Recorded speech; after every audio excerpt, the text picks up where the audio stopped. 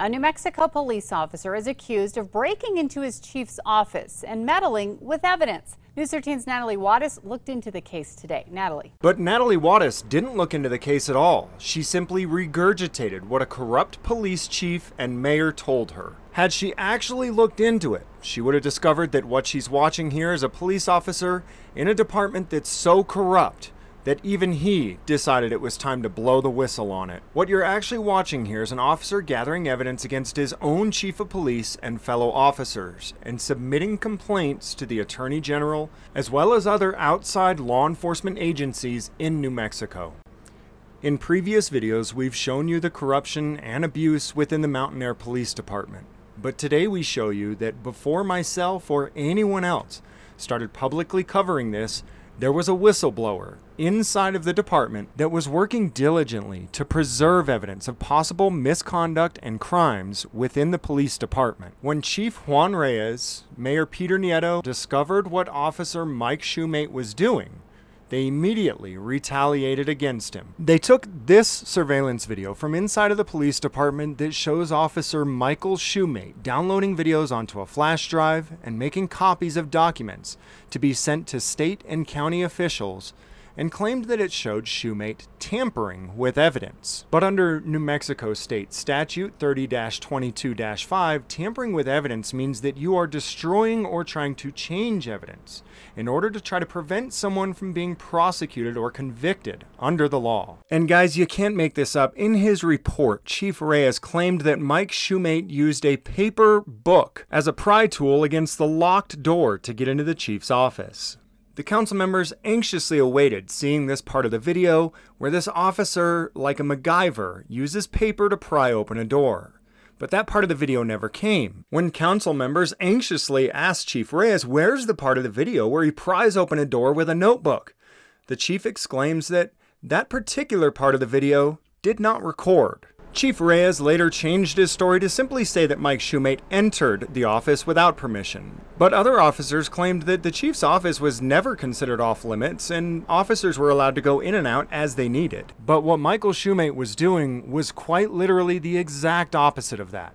He was preserving what he believed to be possible misconduct and even possible crimes in order to send them to higher government agencies to be reviewed and investigated. As you can see, the date on this surveillance video where Shumate is accused of tampering with evidence is October 31st, 2021. Just days later, November 7th, 2021, records show that he's filed official complaints with the state of New Mexico Office of the Attorney General. This particular complaint alleges improper use of the NCIC system, as well as rights violations and excessive force, allegedly used by Officer Woodard, Sergeant Neville Bernard, and Chief Juan Reyes. In the complaint, Shumate lets the Attorney General know that there's lapel footage of the incidents that he's claiming occurred. There were three other complaints sent to the Attorney General between the 7th and the 15th, all alleging misconduct and or crimes committed by fellow officers and the chief, claiming that all of his allegations were verifiable by body cam footage. Footage that he personally made sure would be preserved so that it could not be deleted by fellow officers and the chief.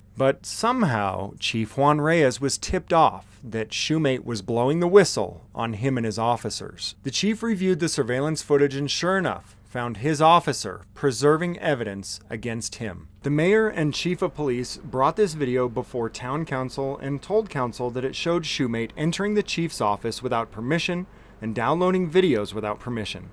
But the chief's office was never locked and it was open to all the officers to go in and out as they needed and there is no law or policy stating that Shumate wasn't allowed to download videos that he had legal access to. The council voted on whether or not to terminate Shumate, but they were unable to reach an agreement to terminate Shumate, as a couple of the council members claimed that they didn't see any policy or law violations in the video. Shumate should have been returned to work following the vote, but Juan Reyes and Peter Nieto refused to allow Shumate to return. He's been on paid administrative leave ever since November. But this goes much deeper. Shumate wasn't the only one blowing the whistle on Reyes at this time. Reyes was under investigation for alleged sexual harassment against another town employee as well as two citizens. When complaints made to Mayor Peter Nieto weren't getting anywhere, the allegations were brought up in public meetings. Peter Nieto continued to try to brush it off, but Councilman Ernie Lopez insisted that it needed to be investigated by an outside agency, recommending that the state police take over the investigation. Nieto convinced the council members that it should be conducted by a private investigator. Town and council voted and agreed to pay Mesilla Valley Investigations to look into the allegations against the chief. Based on the correspondence between Mayor Peter Nieto and the investigator that was forwarded to me, it appeared that Peter Nieto was trying to interfere with the investigation. Before the investigation even began, the investigator informed the town clerk Dennis Fulfer that he had received allegations against the chief, a sergeant, and the mayor Peter Nieto. He stated that because of this, his contact with the town would need to be someone other than these three people that are under investigation. The investigator was told that he only had permission to investigate the chief, and that if he did investigate the mayor, he would not be paid for his work. Peter continually asked for updates on how the investigation was going, and when the investigator informed him that there were two women who had come forward and claimed that the police chief touched them inappropriately, Nieto responded immediately dismissing the claims also wanting to know the identities of the alleged victims and how the investigator ended up coming into contact with these alleged victims. During his investigation, it became clear that there was far more going on within this department than just the allegations made against the chief. The investigator reached out to Mayor Peter Nieto, believing that the mayor would encourage any investigation into his officers of alleged misconduct. But when the investigator told Nieto that there was likely far more going on within this department than he was initially told, Peter became defensive and ordered the investigator to stop the investigation. Nieto's email to the investigator reads Good evening, Ricky. I would like to get this investigation closed out and billed out. When you emailed that you received information about, quote, one of your police officers. That is clear indication that it has nothing to do with the four complaints we hired you to investigate. I would assume if it was about Chief Reyes, you would have said that. The four complaints all had to do with Chief Reyes. We hired your firm for those four complaints. As far as the information you received, you can do what you need with it on your own time. You mentioned you are not giving me any information and would only give it to law enforcement. I strongly believe that this is wrong. My police officer has every right to defend themselves. The town of Mountainair, for which I am the chief executive officer, has every right to defend itself. I do want to make you aware that I will be forwarding all emails from your agency to our town attorney for review. The new information you are referencing is also a clear indication that you are speaking to other individuals that have nothing to do with this investigation, and it seems even letting them dictate this investigation that is something that is my responsibility. I'm unsure if this includes Mountainair Town Council persons or not. However, the fact that you are collecting information not having to do with the four complaints we provided to you to investigate is quite concerning and seems to imply to me that you are clearly overstepping. From the very beginning, it was indicated to you that I would be the contact for the town of Mountainair and that no other person, including town council persons, would be able to get information regarding this investigation without getting it from me through your final report.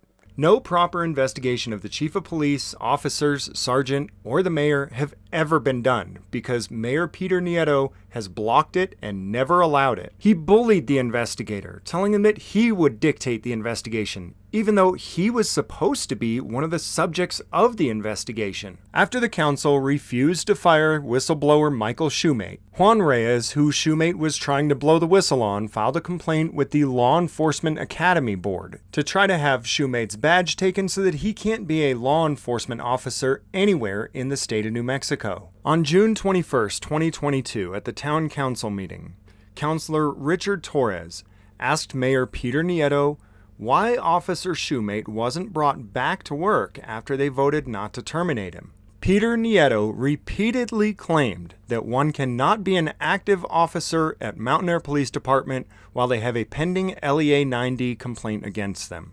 Okay, that night after after nothing would happen. I think that night you should have actually put him back to work because we're supposed to get rid of him. He was already a town employee. We were here to get rid of him. We didn't get rid of him that night.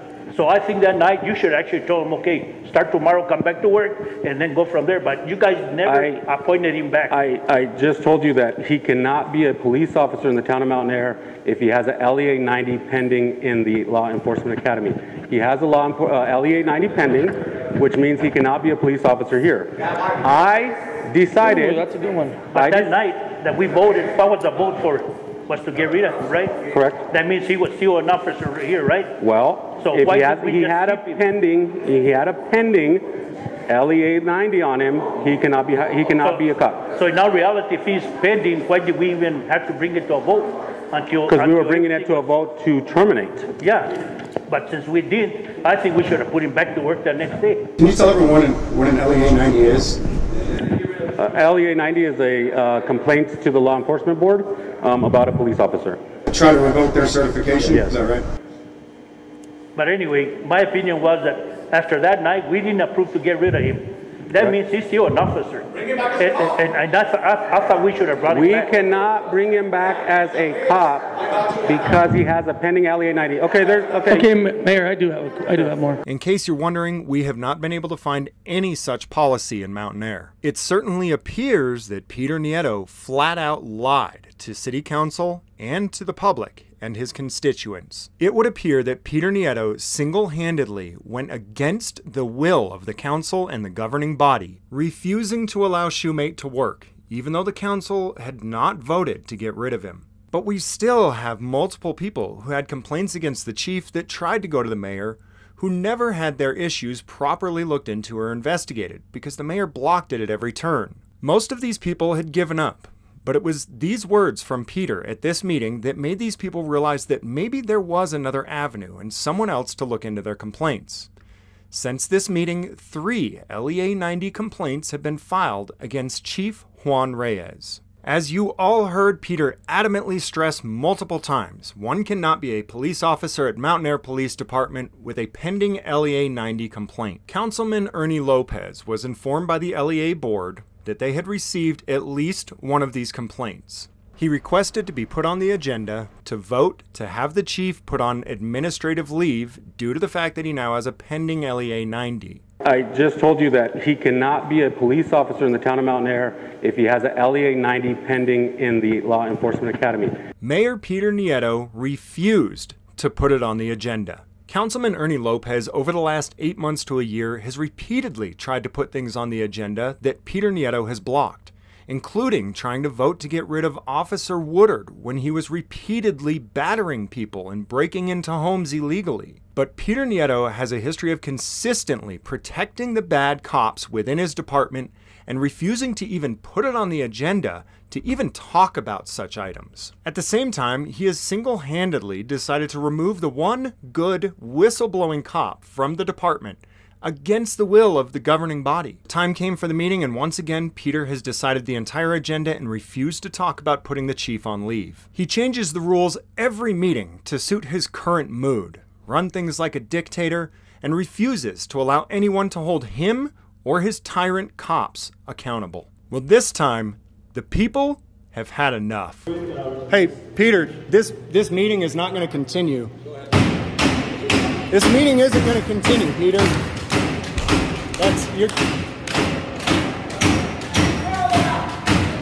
You're going to start listening to the people, Peter! We informed all the surrounding law enforcement agencies of what we intended to do before we did it. We informed them that we may be breaking some rules, like when someone sits in the front of the bus when they're supposed to sit in the back. But that our demonstration would be 100% peaceful with zero violence and zero destruction of property.